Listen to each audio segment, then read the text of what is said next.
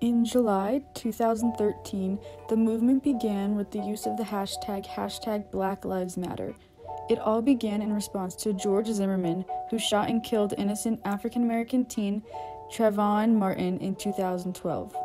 The movement became nationally recognized for street demonstrations following the 2014 deaths of two African Americans, Michael Brown, which resulted in protests, and Eric Garner in New York City. Since the protests, people who participated in the movement have demonstrated against the deaths of many other African Americans by police actions or while in po- police custody. In 2015, Black Lives Matter activists became involved in the 2016 United States presidential election.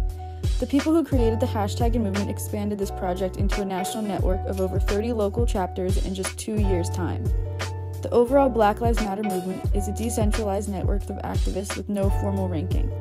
The movement returned to headlines and gained further international attention during the global George Floyd protest just a few months ago, following the killing of George Floyd by a police officer.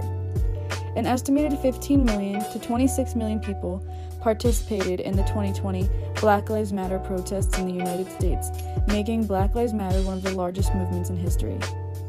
The movement has advocated to defund the police and invest directly into black communities and alternative emergency responses.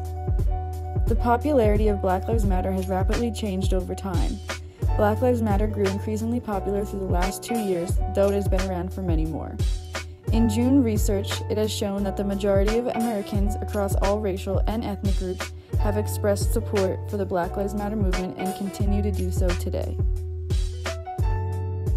Although her work predates the BLM movement, Adrian Piper played an important role in addressing racial tension in society. Her main work sought to confront ideologies. By facing these issues head on, she was able to shine light to problems actively. Some of her demonstrations included Mythic Being, a street performance where she patrolled the streets of NYC as a stereotypical working class African American male. Beyond actively participating in the stereotype, Piper simultaneously read lines from her diary. This juxtaposition of hostile black archetypes to eloquent anecdotes was a key theme of her works. Another great example can be found in one of her famous sketches. Here, she distorts her facial features to more so fit into the stereotypes of black people. After comparing Piper to her twisted self portrait, it can be seen that she clearly doesn't actually look like this. This is emblematic of stereotypes overall. The connotative message of her work is that the stereotypes are just generalizations of a group of people, and that in actuality, no one truly embodies them. I have chosen to challenge stereotypes by using media that was readily available to me and playing with it. More often than not, magazine pages are filled with white actors, skinny white women modeling clothes, happy white families in a beautiful suburban home, and no diversity. This time around, I found both exactly that and pages filled with diverse types of women and men, be that black, Latin, Arab, gay, and the list thankfully goes on. I chose to meld both of those to challenge stereotypes.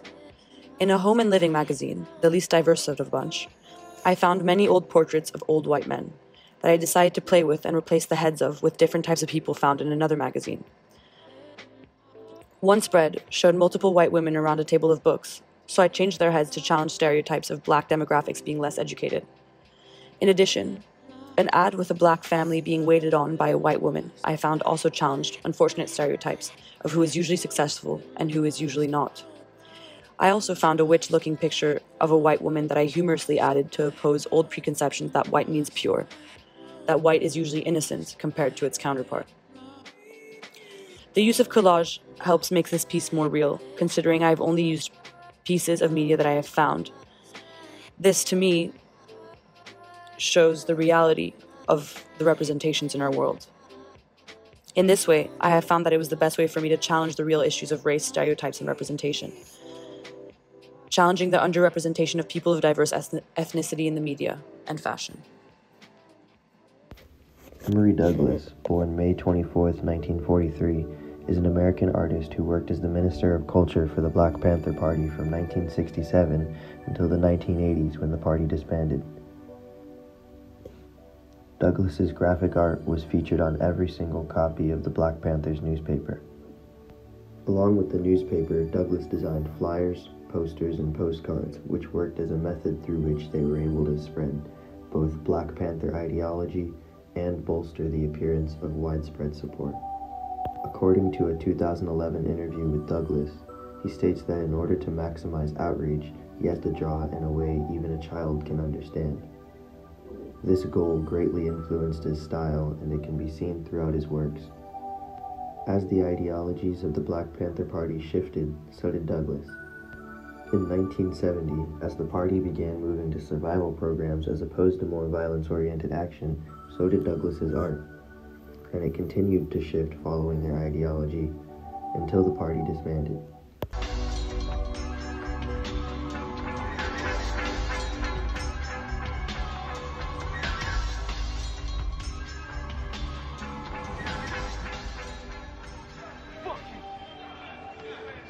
I stand on the corner of the block slinging amethyst rocks, drinking 40s of Mother Earth's private nectar stock, dodging cops. Cause 5-0 the 666, and I need to fix it that purple rain. The type of shit that drives membranes insane. Oh yeah, I'm in the fast lane, snorting candy yams that free my body and soul and send me like Shazam. Never question who I am. God knows, and I know God personally.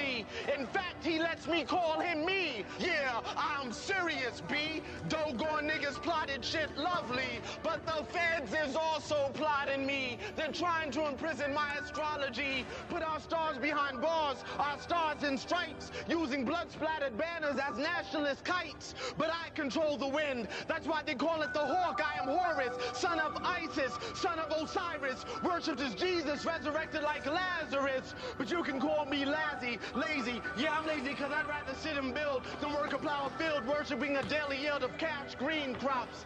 Stealing us was the smartest thing they ever did. Too bad they don't teach the truth to their kids. Our influence on them is the reflection they see when they look into their menstrual mirror and talk about their culture. Their existence is that of a schizophrenic vulture. Yeah, there's no repentance.